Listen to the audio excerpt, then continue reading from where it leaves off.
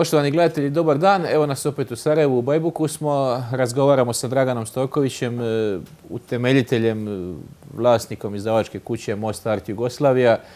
Čovjekom koji inače beograđanin zemunec, ali rođen iz Sarajlija i neko je napravio prve korake u ovom gradu i koji je povodom promocije knjige Jasne Diklić koja će biti dan nakon što mi snijemo ovu emisiju ovaj put došao u Sarajevo. Eto, s jasnom je i odrastao u neposrednom komšiluku. E, Dragane, prije svega hvala što si se odazvao i nadam se da se osjećaš u Sarajevu kao u vlastitom gradu. Naravno, uvijek. Pa evo, da je da krenemo od tog tvog sarajevskog djetinstva, pa ćemo na ove stvari koje si objavio i s kojim se bavio u političko-društvenom smislu. Kako ti je izgledalo Sarajevo? To su, to su neke godine poleta, obnove, progresa, nastanka novog grada, e, kad si ti se ovdje rodio i odrastao? Pa da, ja sam tek kasnije mogao da osmislim i da prepoznam šta se to sve događalo u tom periodu kada sam ja eh, odrastao u, u Sarajevu, tih prvih 11 godina mog života sarajevskog eh, i to negdje do, 60, do oktobra 64. godine, dakle jako davno. Tako da mogu da eh, sad sa ove distance i intimne, privatne, a i društvene, da kažem da je to bilo da je to bio jedan period bajkovit, pogotovo sa neke detinje ovaj e, vizure. E, bilo je to jedno, e, kako kažem, harmonično, harmonični ambijent odrastanja, druženja djece po dvorištima, polivadama, sankanja, ne znam, u školi. Dakle, za mene je bio nagli e, kulturni šok prelazak 64. godine na Novi Beograd kad se moj otac ovaj, preselio zbog službe. E, I e, mislim da se u tom, toj nekoj mojoj sarajevskoj sudbini e, krije dosta toga što je odredilo mene u životu kao nekad kasnije kao neku ličnost. Jel? Naime, to je bio ambijent kad smo mi u tom našem razredu, a pošao sam u prvi razred u Veselina Masleše u tu bivšoj JNA ulici, a nastavio do 5. u 29. novembru u školi na Grbavici. A kad smo mi recimo išli na đačke izlete prema Bembaši, držali se za ruke i pjevali zavičaju moj mili rodni kraj. ovaj. a, I sva ta imena Eh, ja ih imam na jednoj fotografiji potpisana i, i Šefike, i Nijaza, i Franje, i Novaka, i Jasne i tako dalje. Sve su to bila naša imena. Ja apsolutno nisam imao nikakav, o, nije postojalo u mom nekom, kako kažem, ove svijesti, to je detinjoj do bilo kakve razlike. Tako. Bar moja porodica se nije bavila ovaj, time i komšiluk i tako. Eto. I tako sam ponao tu jednu idiličnu sliku ovaj, Sarajeva. Naravno, to je iz mog ugla, iz mog životnog iskustva. Ali sam imao i tu sreću da odrastam, da se rodim pored, e, u komšiluku neposrednom porodice Diklić. E, moj vršnjak Davor Diklić je rođen u isto vreme kao i ja. Njegova starija sestra Jasna Diklić, e, majka Amalija koja me i dojela malo, pošto moja majka nije imala mlijeka. Tako da sam imao sreću da održavam tu uh, vezu sa Sarajevom, pošto moji nisu iz Bosne. Moja majka je Slavonka, a otac Šumadinac. Desilo se tako da se jedan Šumadinac koji je došao u Sarajevo, uh, u Zagrebu, upozna sa jednom Slavonkom i da se ja rodim u Sarajevu. Sad mene to je jedan ovako preznak bio fantastičan trougao. Ovaj, uh, da kažem, ljubavni iz koga sam ovaj, ja nastao. I ko je to odredio, ovaj, sve to odredilo moj život?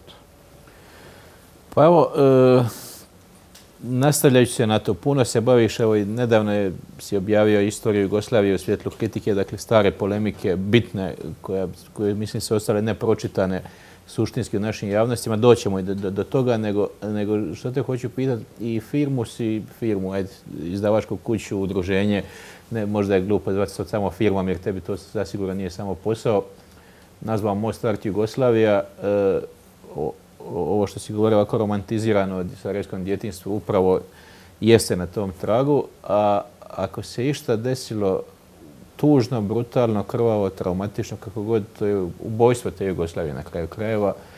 E, kako danas gledaš na tu zemlju? I na, nje, na, na tu zemlju kao ideju i na tu zemlju kao političku izvedbu, recimo u socijalističkom razvoju, pustimo se prvu Jugoslaviju. Pa mislim da je to bilo u stvari jedna vrsta samoubistva. Ovaj. Uh, ima jeli, raznih e, faktora i ubilačkih, ali mislim da je bilo dosta i samoubilačkih. Ehm, mislim da je to jedna e, ideja koja je vanistorijska. Sticajem istorijskih okolnosti nastale su dve državne zajednice. I obe te državne zajednice e, su propale i pored sve dobre, da kažem, namere, ovaj, želje njenih stanovnika, ali treba imati u vidu da su obe te državne zajednice imale u sebi a, elemente a, klice e, budućeg e, razdora. Naime, jugoslavenska ideja i potreba i osjećaj je postojao mnogo, mnogo pre formiranja tih država. Još se može govoriti i o Andriji Kačiću, Mijošiću i o razgovorima južnoslavinskim, ugodnim i tako dalje, ali su te državne političke zajednice izneverile e, sva ta nastojanja, želje i očekivanja i mi smo došli do ovog e, danas vremena u kome Jugoslavija postaje jedna bajka, jedna utopija, izgleda absurdno utopija koja se dogodila u prošlosti. Dakle, nije e, utopija koja se pretpostavlja da može da se dogodi. Neka ona je već, bolje je već bilo. Bolje je već bilo, da. I ja mislim da se tako nešto neće ovaj, u tom obliku ponoviti i mislim da ne bi ni trebalo. Ovaj. Jer u čemu, to je sad moj lični odnos prema pitanjima države i društva. Naime, ja mislim da je svaka država nasilje nad ljudima. Apsolutno. Pa i jugoslavenska država nad jugoslavenima. Pa je mnoge jugoslavene okrenula protiv sebe. I u prvoj i u drugoj Jugoslaviji. A, mislim da je Jugoslavija pre svega jedan kulturni pojam kulturni pojam koji u sebi sadrži ljude koji govore istim jezikom, koji imaju zajedničku sudbinu, bezbroj pojedinačnih zajedničkih sudbina, mešovitih brakova, imaju zajedničke uspone, e, radosti, uspeha, sreće, a imaju i zajedničke ovaj, e, velike mračne e, mrlje, ubistava, ratova, međusobnih istrbljenja i tako. Sve to je zajedničko, bilo dobro ili loše. I da Jugoslaveni ne mogu od toga pobjeći. Sve, sve i kad bi htjeli. I mislim da E, bi bilo koja nova, novi državni pokušaj bio ovaj ponovni, e, ponovno e, ubijanje jugoslavenstva kao jedne potrebe nadnacionalnog, internacionalnog, kako god hoćete, osjećaja povezivanja ljudi, kažem, koji govore istim jezikom, imaju istu istoriju, zajedničku sudbinu, kakva god ona bila. A da je to neophodno kao uslov da oni u tim nekim svojim državama, državicama ili bilo šta, e, da bi opstali tako minimizirani, jel?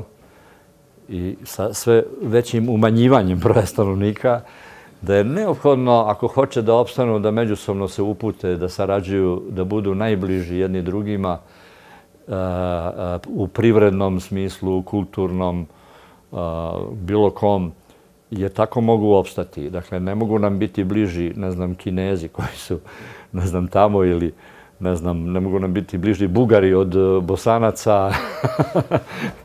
tako da, jer, E, kad se to prepozna da je to uslov zajedničkog opstanka e, ovih pojedinačnih državica, onda mislim da e, može imati jugoslavenstvo e, vrlo konstruktivnu, pozitivnu ulogu. Mislim, jugoslovenstvo je vrlo zloupotrebljavano, da vam kažem. To je vrlo kompromitovan e, pojam. Kažete, mnogima sa opravdanje, jer tu, se, i, tu je i jugoslovenstvo kralja Aleksandra i njegove diktature. Tu je i i e, ne znam, orjunaštvo, tu je i jako mnogo tih negativnih zloupotreba. Treba očistiti jugoslovenstvo od svih tih zloupotreba i onda će ostati e, ta fina jedna suština koja može da bude, kako kažem, stimulativna u povezivanju, u povezivanju za, za budućnost. Prije nego dođemo do 90-ih, o kojima ćemo ipak morat malo porazgovarati, e, sad kad govorimo o svemu tome, izdao si e, zapise doktora Josipa Smodlake koji je bio ključni čovjek, e, neki od, neki od Draganovih knjiga koje je objavio su ovdje na stolu. Ovaj, dakle, izdao si zapise Josipa Smodlake koji je bio ključni čovjek da Dalmacija E, praktično se samostalno, ako Hrvatska neće pripoji Kraljevini Srbiji, dakle, možda je ključni čovjek koji je pogurao odluku Hrvatskog sabora ovaj, o ujedinjenju. Izdao si memoare Viska Kristulovića koji su možda je najprodavanija, pretpostavljam, od, od knjiga koje si objavio. To su tri sveska, mislim da je prvi bio baš, baš vrlo uspješan. Ova nedavna knjiga je, mislim, su izdanje s Bajbukom, ako se ne moram. Da, da, i Kristulović je isto izdanje, su izdanje s Bajbukom, evo, u kojem sjedimo. Dakle, jesmo li mi, e, da li je, da li je ta država i ta, ti političko-društveni i znanstveni odnosi u toj Siliškoj Jugoslaviji, da li su oni krivi za ono što se dogodilo 90-ih, jer se o svim povijesnim fenomenima i problemima koji su bili i sporni i traumatični, ovakvi onaki nije razgovaralo, niti je recimo ovakvih rasprava bilo više? Pa, e, naravno, ja mislim da e, je, su razgovori i sučeljavanja različitih mišljenja jedini put ka dolaženja do neke, e, do neke istine ili bar prihvatljive e, istine za sve. Ja. A, e, e, mislim da se mnogo toga guralo po tepih u tom periodu, da kažem, druge Jugoslavije, jeli? iz raznih obzira političkih i tako dalje, eto da se neko ne uvredi ili da se ne znam šta. Ovaj, e, tako da mnogi razgovori e, nisu završeni kako treba na vreme, pa su stavljeni u neku kutiju zatvoreni sa sedam pečata da bi neko e, tu kutiju otvorio i iz nje izašlo ovaj, neko zlo koje je ovladalo. E, naime, Eh, ono što je sprečeno da se eh, na jednom ozbiljnom akademskom, stručnom i tako dalje eh, razgovoru završi do kraja kad je započeta ta polemika, je u jednom momentu izbilo na nepoznat način i po meni, ja to možda u šali kažem, je, se našlo u onoj predstavi putujućoj šovinistička farsa, je li? Je dva ovaj, intelektualca nacionalna, nacionalno ostrašćena, osvešćena, srpski i hrvatski, u stvari eh, na jedan takav način eh, u nekim masovnim predstavama putujućeg cirkusa po celoj Jugoslaviji eh, otvaraju te teme na jedan nestaradni način koji je mogao samo da doprinese ovaj, e, produbljivanju. Zgodno je, morat ću, samo ćete sekund prekinuti kad si već to spomenuo, jer sam ovaj jednu od ovih knjiga koje sam sad objavio, Povijest politika, popularna kultura, baš sa esejem o šovinističkoj farsi otvorio knjigu. E, zato jer sam bio uvjeren, dakle to je bila hit predstava prodaja, ja sam bio uvjeren da je ljudi kupuju karte da bi se smijali tome. A sada, nakon sve što... Ja sam se uvjerio da su ljudi kupovali karte za šovičku faksu da bi čuli tamo ono što inače ne smiješ od javnosti sa odobravanjem prihvatili. Dakle, je li se slažeš ti? Apsolutno. E, ova polemika, reč je o polemici 73. 76. godine povodom izdanja istorije Jugoslavije 72. godine, je započela, da kažem, u jednom liberalnom demokratskom duhu u svim sredinama i u Bosni i Hercegovini, i u Hrvatskoj, i u, i u Beogradu uključivali su se tu i autori iz, recimo, Ali Hadri sa Kosova. I ovaj, onda kad, e, su, kad je neko procenio da je to daleko otišlo, onda je zaustavio, ovaj, sprečio dalju, dalju polemiku. A, a zbornik tih polemika nije mogao da bude objavljen jer su izdavači odbijali krajem 70-ih, 80-ih godina da to izdaju. Hoćeš reći da je ovo prvo izdanje? Ovo je prvo izdanje koje je čekalo 45 godina da bude objavljeno. Naime, E, to je sve objavljeno u istorijskim časopisima, u jugoslovenskom istorijskom časopisu, časopisu za suvremenu povijest u gledištima i tako dalje, ali časopisi su ipak jedna forma za uzak krug ovaj, e, stručnoj javnosti, nedostupna, rasuta, jeli? a ovdje je sve to na jednom, na jednom mjestu. Može se steći ovaj, mnogo bolji uvid analitički u to koje su to bila oprečna mišljenja, zablude i kako se već tad moglo videti kako se kristalizuju ti neki kruti stavovi koji nemaju razumevanja jedni za drugi. U tim akademskim sferama, elita e, intelektualni. Imam sad jedno djavolje pitanje.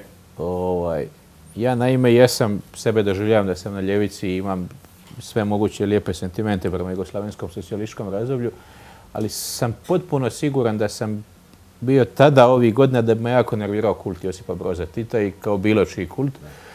I kao što me danas nervira e, Tito nostalgija ili Tito nostalgija kako je Mitja Velikonja prozvao, jer bilo kako klanjanje nekom pojedinačnom čovjeku smatram besmislenim. E, Visko Karstuloviću, u tim memoarima koje si objavio jako je kritičan prema Titu na svaki mogući način. E, I to je pročitano, to je izašlo, to je čak u, u dosta mainstream medija i prikazano i recenzirano i navedeno. Međutim, kod ljudi na ljevici sa, možemo reći, našim slitnim sentimentima, Tito kult nije dotaknut niti milimetar nakon što je to izašlo. Kako to tumačimo? Nikad se kod nas nije uh, o temama razgovaralo, kako kažem, dubinski i ozbiljno, nego su se uvijek uh, ljudi vezali za uh, određene autoritete, ličnosti, pa im je posle, ne znam, kralja Aleksandra trebao Tito, posle Tita im je trebao Milošević, posle Miloševića, bar govorimo o Srbiji, im je trebao Vučić. Dakle, to su neki tokovi svesti, masovnih psihologija i tako dalje koji ovaj, um, pojednostavljuju uh, tumačenja, priče i, i ljudi se povode za time. Uh, Tito je jedna velika tema. I ja kad sam bio uh, student, dakle 70. godina, sam bio vrlo ovaj, kritičan prema, prema onome što, se, što su svi građani videli i po kućama reagovali kad na televizijskom dnevniku vide pudlice ili šta ja znam. ovaj, ali, sećam se jednog razgovora sa jednim mojim prijateljem iz tih vremena. Mi smo doživljavali Tita kao jedna velika, ogromna, masivna vrata između dve prostorije. U jednoj prostoriji su bili, e, e, u tim oba prostorije su bili suprostavljene snage. Snage koje vuku nazad i snage koje vuku napred. On je bio barijera između jednih i drugih. Dakle, on je E, svojim autoritetom i kao čovjek iz jednog konteksta e, političkog 19. 20. veka, celog onog perioda, da kažem, i, i prve socijalističke revolucije i svi tih ideala i tako dalje. On je u isto vreme bio i avangarda u jednom momentu, a bio i prepreka za novu avangardu. I njega ne treba, o njemu ne treba suditi uh, sa ovih današnjih merila. U istorijskim okolnostima u koje postoje on je učinio maksimum. Napravio je neke iskorake e, na svetskom globalnom planu e, bio je e, neporecivo vrlo vešt političar i psiholog.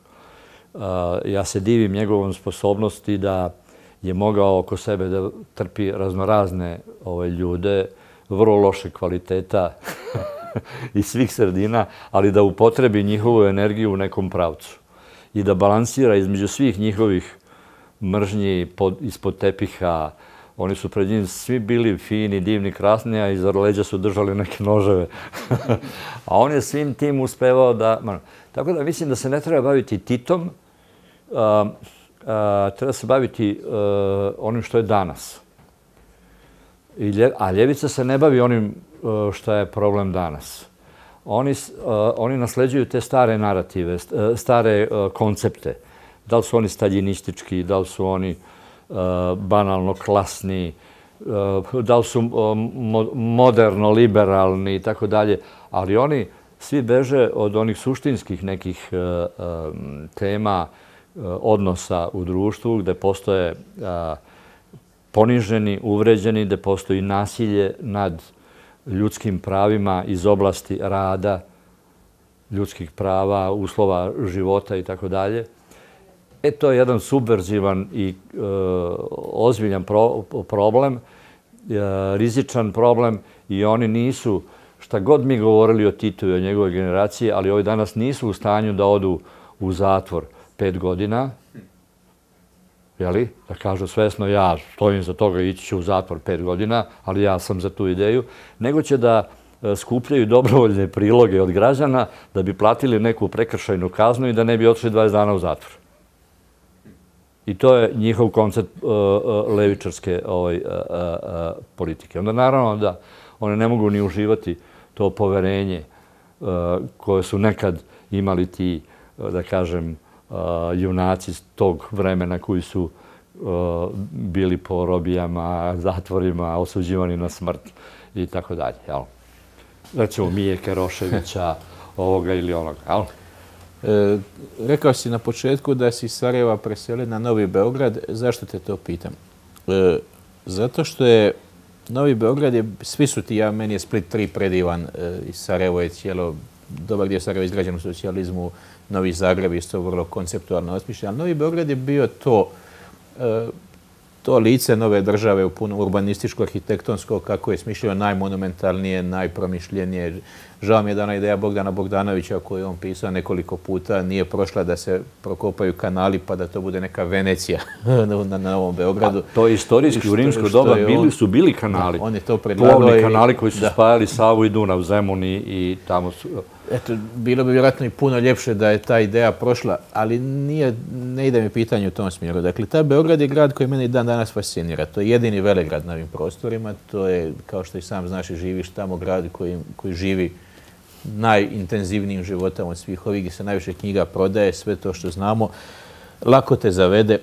E, ali da je baš taj grad, i to ne samo taj grad u, inter, u smislu intelektualnih krugova, sanova i ovoga, nego baš taj novi Beograd, baš ta arhitektura modernizma, ti ljudi kojima je taj socijalizam dao sve, izašla na ulice i bacala cvijeće na tenkove koji idu na Vukovar. Dakle, kako je, kako tumačiš to? Pa evo jednostavno, najveća stambena izgradnja na Novom Beogradu, stambenih blokova, je bila 70. godina. Tada se zidalo po 10.000 stanova godišnje. I uglavnom su investitori tih stanova bili vojska i državna uprava. U stanovima koje je finansirala vojska su se uglavnom doseljavali penzionisani oficiri eh, JNA koji su mogli da podlasku u penziju biraju mesto eh, gde će da, žive, da uživaju penziju. I onda je eh, veliki broj njih se opredeljivao za Beograd. Tako da ja, meni je nezaboravno Eh, eh, sa mnom su, eh, sa mnom su dvoje išli u razredu gimnaziji i u osnovnoj školi s kojima sam išao u osnovnu školu u Sarajevu. Kad sam išao na utakmicu, išli Davor Diklić i ja na utakmicu Bosna, Partizan u halu sportova na Novom Beorodu, pa cijela hala je navijala za Bosnu. Tamo oko osnovne škole Đuro Strugar i tako. Svi su navijali za Bosnu u sred Beograda, jer su to ove doseljeni, jako mnogo je bilo u toj generaciji doseljeni Sarajlija, ne ovih od 1991. Um, e, dakle, to je ta uh, struktura, da kažem.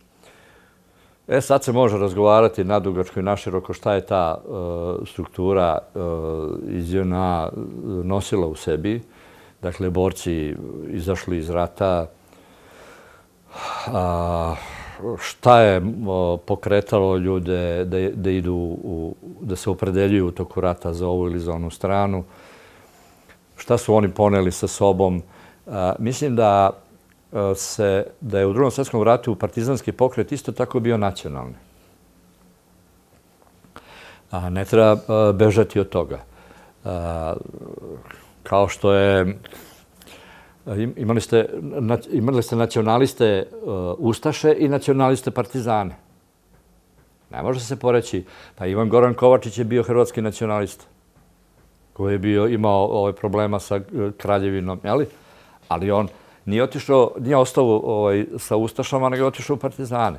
Dakle, imali ste isto tako u Srbiji mnogo uh, uh, srpski nacional, nacionalno uh, svesnih i od, od, od Ćosića do Krcuna, ali koji nisu išli sa uh, uh, četnicima, ovima, onima, nego su išli s partizanima. Dakle, postoja je ta nacionalna. A, zatim, a, a, postoje posle rata taj jedan utvrđen, utvrđen standard ko je ko bio u ratu. Tako da je, ja mislim, ta jedna Uh, svest o ratnim zločinima, genocidu koji je izvršen 1941. 1942. 1943. u Hrvatskoj i Bosni i Hercegovini na srpskim narodom, koji je činjenica da da je to samo jedan deo priče. Jer poznato je da je odmah posle mjesec dana su osvetnici, ustanici isto tako učinili genocid genocidna ubijanja nad svojim komšijama, Hrvatima i muslimanima. U iste one jame ovaj, su bacali sad oni njih. Tako da je ta priča vrlo... Ovaj, I mnogi su izašli iz drugog svjetskog rata, a da ga nisu završili, da su poneli sa sobom tu vrstu nacionalnog. Tako da je e, to 1991. godine su, zahvaljujući propagandi Miloševićevoj, celom sistemu koji treba godinama je to pripremano, knjige o Jasenovcu su masovno počele se produkuju početkom 80. godina, je doživljena 1991. kao borba protiv e, Ustaša, razbijanja Jugoslavije i tako dalje. Naravno da je bilo mnogo tih elemenata u Tuđmanove politici. Dakle, jedni drugima su pružali alibi. Šešelj dođe na Petrovu goru sa redenicima, noževima u zubima i tako dalje. Tako, onda, onda kažu, ovo imamo i mi svoje crne košulje, ali tako? Tako da je ovaj, uh, u početku pripremano kod tih običnih ljudi, eto, tog stavno ništa, pripremana je ta svest da oni u stvari brane uh, Jugoslaviju, jedinstvenu, da se bore protiv, uh, ne znam, Ustaša ili ovo ono. Ali uh, problem je nastao što je kasnije uh, nije isplivao na površinu istina o svemu tome. To je moj problem sa, sa komunističkom partijom, odnosno Savjezom komunista i tom politikom. E, evo, baš ovo. Ja mogu shvatiti da neko podlegne propagandi da kaže Tuđman je Ustaša, ovaj je ovakav, ona je, ne znam, Alija je radikalni islamist i tako. To, sve, to je sve lako razumjeti. Ono što ja ne mogu razumjeti i mislim da je tu politika Savjeza komunista odmah nakon rata kriva, to isključivanje to banaliziranje obojstava ljudi bilo kojih, e, to isključivanje nacionalnih skupina, kolektivna odgovornost Njemaca, kolektivna odgovornost Italijana, legalizirano upadanje u tuđe stanove, kuće, obiteljska imanja i tako dalje. Zašto ovo govorim? Zato što mislim da je svaki e, da je svaki politički zahtjev legitiman do časa dok se ne počne pucati, ubijati i etnički čistiti ljudi. Dakle, sve možeš, ja mogu shvatiti da neko kaže to su tamo Ustaše, ali da počneš pucati po gradu i civilima, to ne mogu shvatiti. Dakle, a nemoguće je da ti ljudi to nisu vidjeli. Dakle, kraju kreva te snimke ulaska u Vukovar ili Sarajeva su bile dostupne. E, dakle, kako tu, pa nisu valjda civili Ustaše. A ako i jesu, šta ćemo sad? Pa eto, to je učinila ta propaganda da, ovaj, jer kad su se vršile te uh, odmazde, dakle genocid 1941. i odma odmazde, uh, stradali su civili. A? Ustaška postrojba ili 15 ili 20 uh, bez dozvoli znanja, recimo, domobranskih vlasti, dođe i masakrira nekoliko sela, baci nekoliko hiljada ljudi u jame, jeli, civila, ali posle mjesec dana se isto to uradi na nedužnim civilima e, hrvatskih muslimanskih sela. Berholcova knjiga... Da, da, odlična. Da, izvrsna. Nasilje kao generativna sila za nju.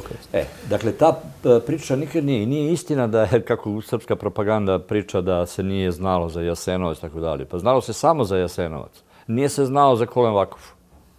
Nije se znao. Ja sam saznao to od oca mog e, e, školskog druga koji je bio prvoborac iz Srba 27. jula 1941. I Čika Obrad mi je pričao ovaj, sa gnušanjem o sceni kada je video kako neki njegov saborac neke ljude, neke žene i decu masakrira u nekom jarku tog dana kritičnog. Što je, što je, ali to, to se ovako pričalo, ali nije, to, to, to nije izašlo u javni ovaj, Tako da... da ovu temu zaključim, ali moram, jer moram još jedno pitanje, koje možda je bolje ne pričam o ovoj temi, ali kad, kad smo već tu, pada mi na pamet knjiga Ivice Đikića o Beari, e, dakle čovjeku koji je operativno spravio genocid u Srebrenici. Nije ga on zamislio, ali on je bio ključno. Dakle, što to govori o ideologiji JNA? Dakle, taj čovjek je eto, Srbin iz Dalmatinskog zaleđa, on nikakvog problema nije mogao imati s muslimanima ili bošnjacima nikad u životu, niti ih je vjerojatno nikad vidio dok nije služio JNA, ni upoznao nikoga od tih ljudi.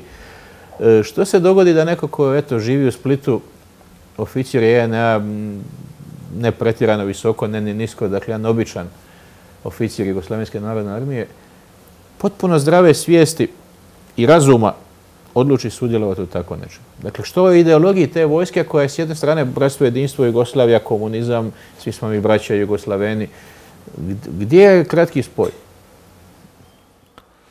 Ha, gdje je kratki spoj? Um, Pre svega, način razmišljanja vojnih lica je takav da, ovaj, kao ono Nikoletina Bursać, ako je komesar rekao da Bog ne postoji, od juče Bog ne postoji, jer je rekao partijski politički komesar, je li tako? Prema tome, to je vrlo ozbiljna dijagnoza koju je Branko Ćopić postavio ovaj, u jednom šaljivom, da kažem, satiričnom tekstu, ali koja je vrlo ozbiljna ovaj, dijagnoza. Eh, I tako su se mnogi ponašali. Ovaj. Ja pretpostavljam da bi Nikoletina Bursać 1991. godine, ako mu je rekao ovaj, neki ovaj, politički komesar, da bi eh, bio čuvar logora u Omarskoj, na primjer. Jer mu je tako rekao partijski ovaj, komesar, politički komesar. Um, dakle, to su ti neki nivoji Eh, eh, svesti, ponašanja, eh, poslušnosti koji proizilaze iz te hjerarhijske strukture same vojske kao vojske. Ali u ovom idejnom smislu, kažem, postojali su te nerazrešene na javnom prostoru istine. A da kažemo i to da su te različite koncepcije postojale Eh, i eh, pre rata i na samom početku rata, jer eh, postojale su vrlo ozbiljni razgovori, konkretni razgovori, recimo između predstavnika najviših komunističke partije Hrvatske i NDH o međusobnom priznavanju sa Miletom Budakom. Jer je bio na vladi sporazum između Hitlera i Staljina, jel?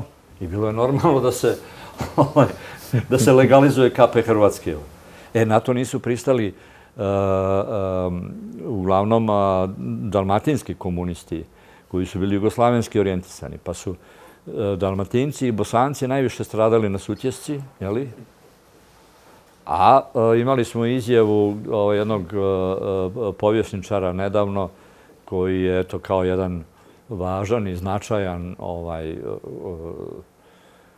argument rekao da Hrvatska vojska za vreme drugog svjetskog rata partizanska nikad nije prešla granice Hrvatske.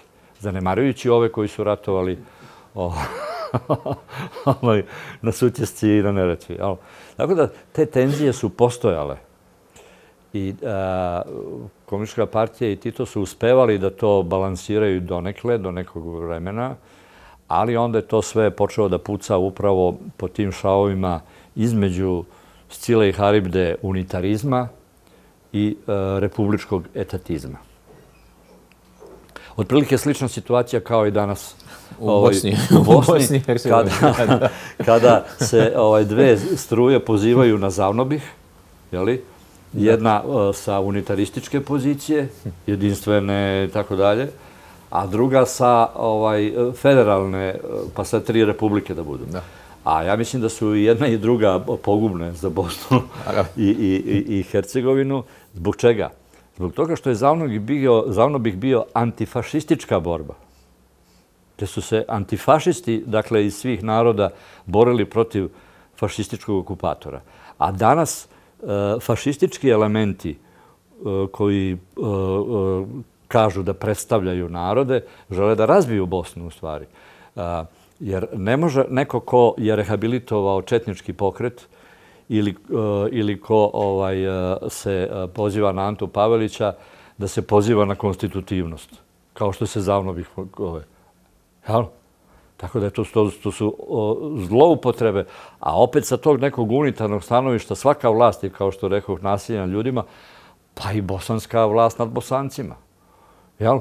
Dakle, nema Nema e, razmišljanja, nije bilo ni u Jugoslaviji socijalističkoj, o tome, o nekim višim nivoima društvene organizacije koji se ne zasnivaju na e, e, državi kao idealu, nego koje treba se zasnivaju na društvu Dakle, društvo je to koje treba da kontroliše državu.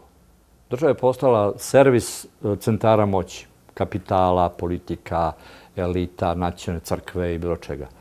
A društvo treba da kontroliše državu, da je drži pod kontrolom. Ja o tim stvarima kad razmišljam, razmišljam o konfederaciji opština, a ne etniteta i republika, etatizama. Postoji švajcarsko iskustvo, pa može nešto da se koristi iz tog ovo iskustva, makako to izgledalo utopija. Moram priznati da je zvuči utopijski, ali ovo je najbolja ideja koju sam čuo ovaj, na tu temu u jako dugo vremena. E, a malo do Zemuna, a opet ćemo se nakačiti na ovaj posljednji rat nesretni. E, ti si proveo e, evo, skoro 30 godina borbe protiv radikala i protiv rad, učinaka radikalskih vlasti i nasilja u Zemunu nad raznim ljudima, građanima, nacionalnim manjinama i tako dalje. E, a realno govoreći, i ovo je pitanje na koje je takozvana druga Srbija, ne takozvana, ona se tako i legalizirana već zove jako dugo, ovaj, ali možemo reći takozvana, dakle, nema odgovor na ovo pitanje koje ću ja tebe postaviti. E, svi znamo da je realno baza glasača radikalne stranke u Vojvodini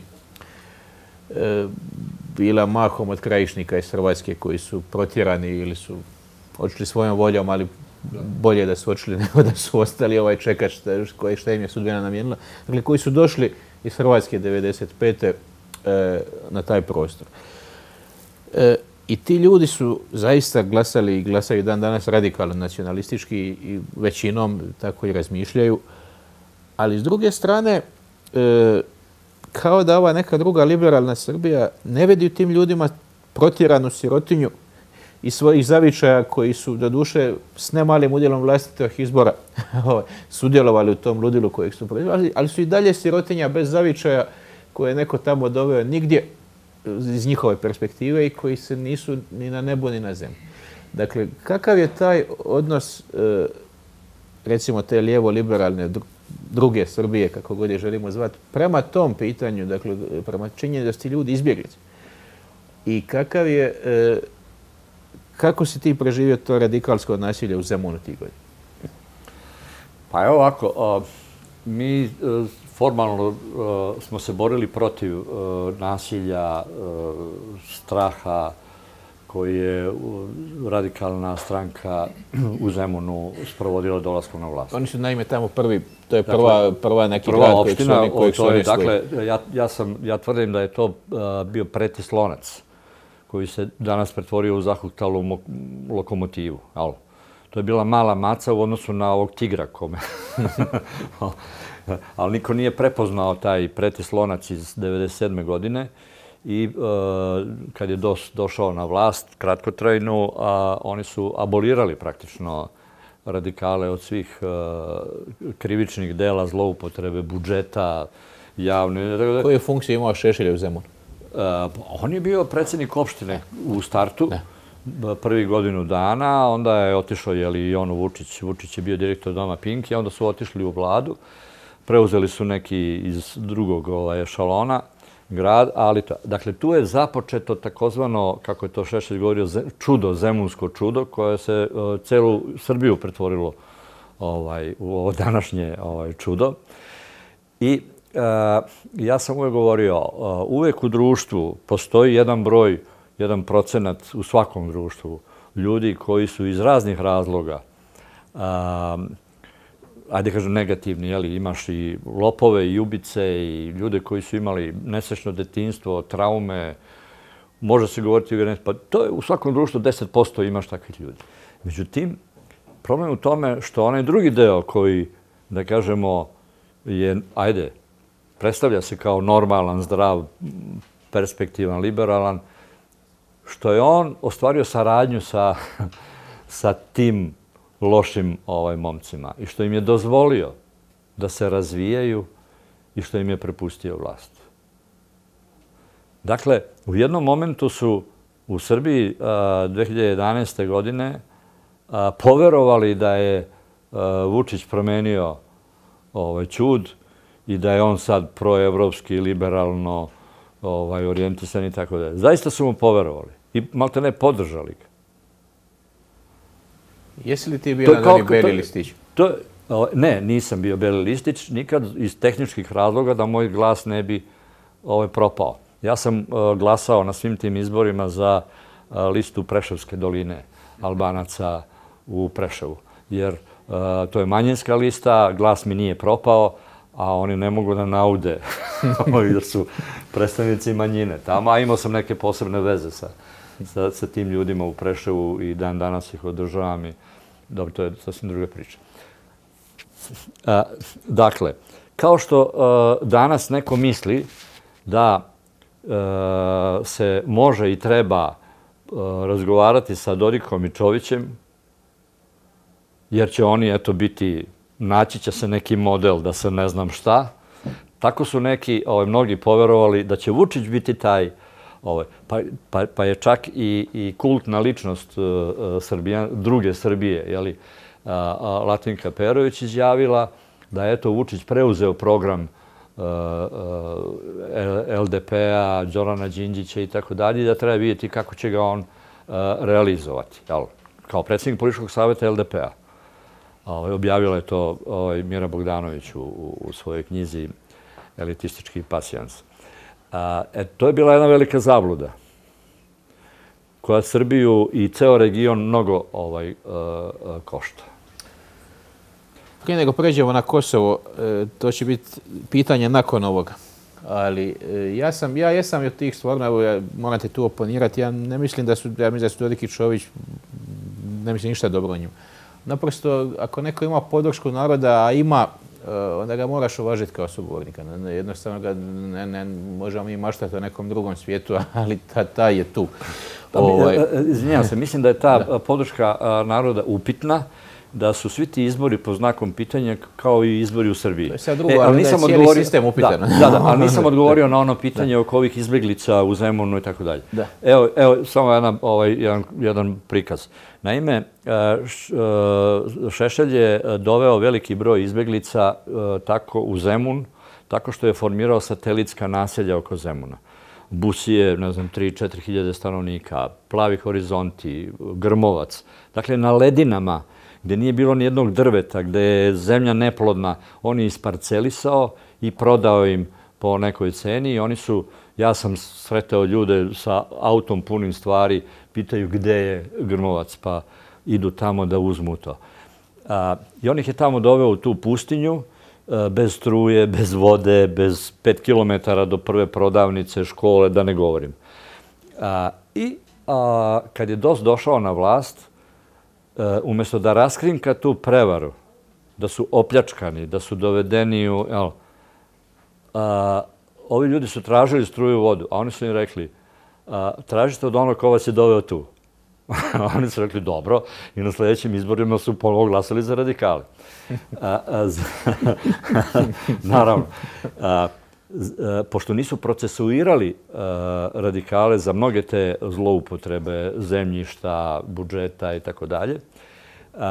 Dakle, e, šta se dogodilo? I onda dođu izbori i kaže se Zemun je radikalski. Nije istina.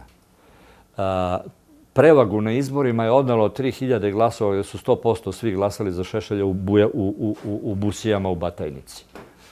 Nije Zemun glasao za nego je to bila izborna baza za ovaj osvajanje vlasti.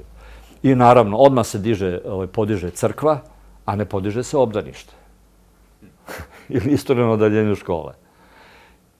I ide se, od Zemuna je počelo plivanje za časni krst, ide se sa jednom ovaj, klerikalnom indoktrinacijom, ovaj, nacionalnom, verskom i tako dalje po svim E, ovo sam te mislio pitati kad sam ti dao malo prije ovaj uvod oko Dodika i Čovića i slično. E, dakle, ja sam stvarno prvi koji hoće da se ide dalje živiti. I godinama sam inzistirao na suočavanju, na priči o ratnim zločinama i svemu. Sad mi je toga naprosto preko glave. Hoću, hoću samo da podvučemo crtu i da nema više nervoze u javnosti i histerije da se živi. Naprosto prođe život u raspravama koje šta kome napravi. Ovo, dakle, zaista to iskreno mislim. Međutim, e, opet se ne može ignorirati priča da je srpski svijet e, dio programa, e, programskih dokumenta e, službene politike Republike Srbije. I kako pomiriti ta dva principa? Živi se mora, to što se neko suočio ili nije suočio neće ništa bitno promijeniti nekome ko će imati svakodnevni normalan zdrav život u normalnoj sredini. A imaš projekt koji nije stvar nagađanja, nego je stvar već i efektivno provedene prakse. Dakle, kako, kako pomiriti ta dva koncepta? Ja, ja sam sebe pitam. A drugo što pitam tebe, e, realno govoreći, pa čak ni uz činjenicu da, je, da Republika Srpska postoji i vjerojatno će i postojati jer je potpisana, srpski nacionalistički projekt 90-ih je duboko poražen. On je poražen i u Bosni i Hercegovini gdje, gdje su Srbi u Sarajevu i u Mostaru koje su središta nekog kulture Srba, jedna teška manjina, e, realno. On je poražen i u Hrvatskoj, on je poražen i na Kosovu. Ovaj, dakle, zašto se iz tih poraza ništa živo nije pa uvidilo, naučilo? Ovaj, nije, nije dovoljno, treba još ovo izgleda ovaj poraza da bi se... Najveći je poraz to što uh, svake godine se uh, broj stanovništva u Srbiji umanji za 40.000 stanovnika. Dakle, u ratu je poginulo 40.000, ajde da kažemo Srba, jeli? 150.000 a sad svake godine u mirnodopskih uslovima Srbija gubi 40.000 stanovnika. Naime, ideja u srpskom svetu je samo novo ime za prethodne ovaj, istorijske um, projekte Velike Srbije ili, ne znam, ili Jugoslavije ili tako dalje.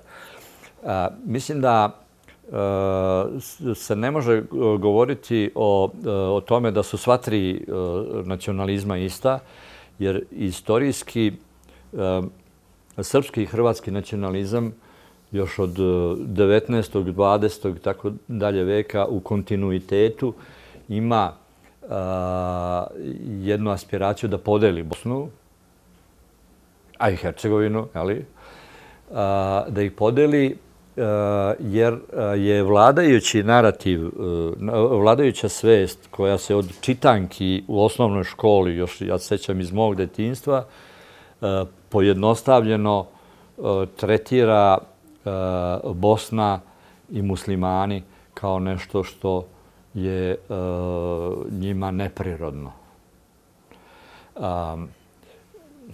Naime, to je i u verskom i u civilizacijskom smislu jedna odbojnost prema islamskom svetu, prema islamskoj religiji i neshvatanje posebnosti bosanske e, e, kulture, različitosti Bosne od ostalog islamskog sveta.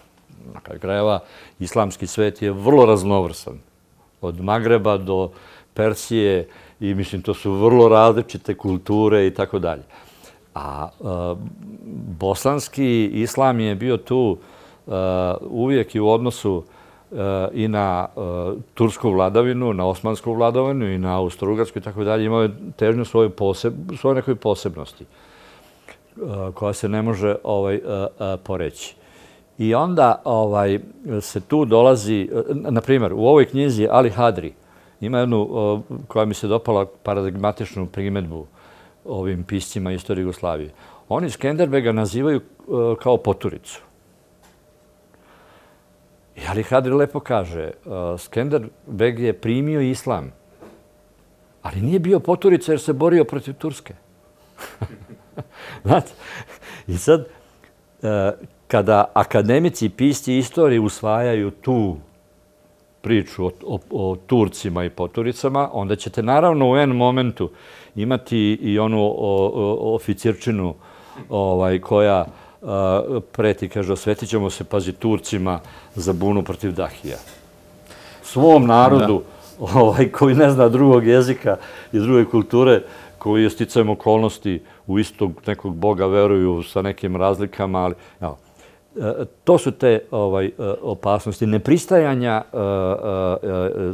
srpskog i hrvatskog nacionalizma na zajednički, zajedničku kulturu koja je u jednom sekularnom društvu religijsko opredeljenje je privatna stvar. Jako bi, ja vjerujem u tvoju priču, ali ta sekularnost današnje Bosne i Hercegovine je još veća utopija, utopija od ičega pa, drugog. Znam, evo mi u Srbiji imamo, to je državni praznici, vi na, vi na te, televizijskom dnevniku imate upustva kako da se ponašate tog dana kad je neki ovaj, praznik verski, šta treba, šta ne treba raditi. I govorimo o sekularnom društvu. Posljednje pitanje, e, e malo je da me ostalo za kraj, možda minut, dva, ali, ali moram ga dotaknuti kad smo već sve ovo prošli, to je Kosovo i kad si spomenuo Skenderbega i te rasprave. Ja sam se rodio 81. godine, u godini kad sam se rodio, evo sad će ima 42. E, Kosovo je nastupilo kao neki javno eksplodirani problem. Evo, javnost u Srbiji već 42 godine se budi svako jutro sa temom Kosova, pa dokad više? Pa, e, sve dok e, e, se u Srbiji a to će teško doći do toga i ko zna kad, ne dođe do, do osvešćivanja i shvatanja o građanskom društvu u kome su nacionalnosti i vera u drugom planu, a politički građani na prvom planu. Sa Prešavom mogu na primjeru Preševa da ilustrujem na što mislim. Kad sam 75. godine kao student išao na sociološko istraživanje kao anketar u jedno uh, albansko planinsko selo iznad Preševa u Karadaku prema Gnjilanu, uh, rekao mi je jedan izuzetno siromašan, jako siromašno selo, jedan čovjek bolestan, narušenog zdravlja, bez ikakvih prihoda i tako dalje. Rekao mi je, kaže, evo, kaže, ti si došao iz Beograda da nas pitaš kako živimo. Naši Albanci iz Preševa 20 godina se nisu popeli kod nas u selo da nas pitaju kako živimo. A, mislim da tu leže a, a, a, mnogi odgovori. A, u današnjoj situaciji a, a, a, priznavanje jednog dana, hteli to, htjela to Srbija ili ne, Kosova je e, neumitnost i ono će se desiti e, i to će biti način da se normalizuje i Srbija. Da se te kriminalne grupe kojima odgovaraju ti biznisi bez kontrole ukinu. Hvala ti puno na, na razgovoru i puno sreće u toj topijskoj emisiji u budućnosti i što više dolazaka u Sarajevo i što zdravi u Srbiju i ova društva. E, poštovani gledatelji, bio to Dragan Stojković, e, pokretač i vlasnik izdavačke kuće ili udruženja Most Art Jugoslavije.